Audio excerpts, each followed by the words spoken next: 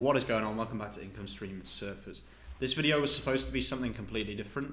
I was going to make a video about how to use a dictionary to find keywords with search operators, but when I went on this website, I found this, which is very, very interesting. This is trending words, like this, for example. So we can take this word, I'm going to click on it. We all know what this means. It's not what I thought it meant.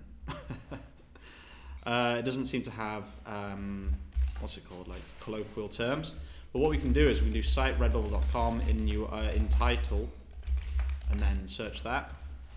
And then we can open this, for example, and we can see that's someone's shop. That's not what I wanted. Let's see how many results there are on Redbubble. Only 22 results. Interesting. So we can assume that this isn't the meaning and what it actually means is something else. You can Google it or maybe don't Google it because of what it actually means. But this is really, really interesting and kind of un unexpected. I wasn't expecting to be able to find this this keyword basically. Um, so yeah, really, really interesting. Let's go back and see what else there is. Like this, like what is this?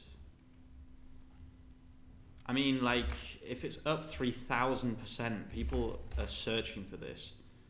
Really, really interesting. Let's see how many results it has. Probably like 0, 41. Uh, let's search for it and put Redbubble. No shirt. I mean, probably not many people are going to be searching for Pithecanthropus shirts. But Redbubble is here, so that's what we wanted to see. 56 results, not very competitive. So dictionary.com, this is very, very interesting, like the trending kind of tool here. Guys, I'm not gonna I'm not gonna make like a really, really long video here, but definitely check this out because anything that's trending like this is really, really interesting. Another thing we can do, and I'm about to make a video on this as well. Now that I've got a new microphone, one thing I want to do is remake some of my old videos. And one of my best videos that a lot of people probably haven't seen is using Google Trends uh, alongside search operators to find good keywords. Let's put worldwide here. So yeah, it does it seems to be increasing, and like I've got no idea why. I don't know if this is actually a good keyword for us or not, but it's just it's just interesting to me that this keyword is um, popping off basically. Wait, what is this? Oh, see, this is a really good keyword.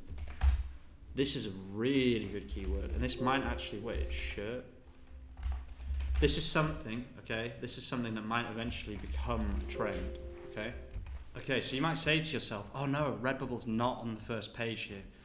This is why this is such a good method. I don't know if this has any results, but I'm going to make the prediction this has very few results on Google. Sorry, not Google, Redbubble.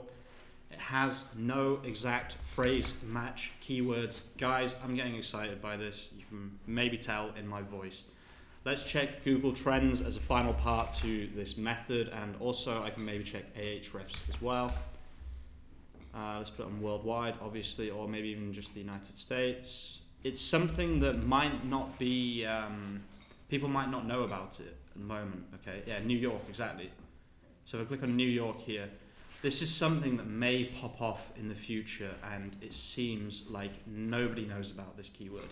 The final thing I'm going to do is I'm going to show you Ahrefs keyword generator.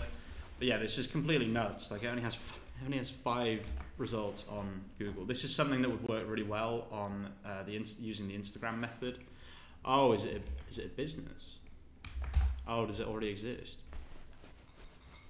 Doesn't seem to exist. Let's just check trademark here. I guess you guys can use this video as like a way to fully check a keyword. I've shown you every single method of checking a keyword.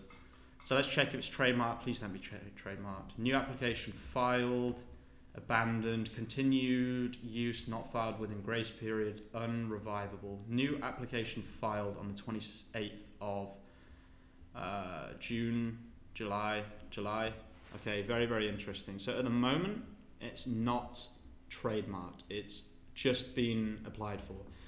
So maybe this wouldn't be the perfect keyword because it seems like soon it will be trademarked. But this is just really interesting. There are going to be, I reckon, um, another video I'm going to make actually is a flow of things to check every day for new keywords, just like this, okay?